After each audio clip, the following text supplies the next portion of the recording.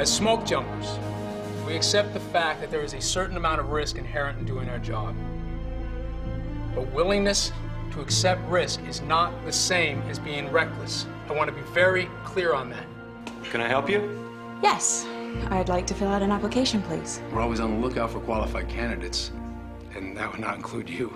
I can do this job as well as any guy you've got. Prove it. Only the strongest of you are going to make it. If any one of you is unable to complete any one of these tests, you're going home. Why is it so important for you to be a smoke jumper? I want to be the best. And smoke jumpers are the best. But I'm not giving up. Ever. Okay, good. Jumper Kristen Scott, are you ready?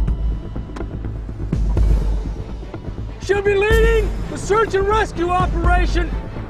Oh my god. I got a family trapped up there.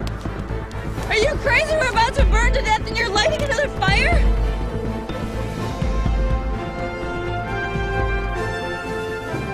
Thanks. Anytime, sir.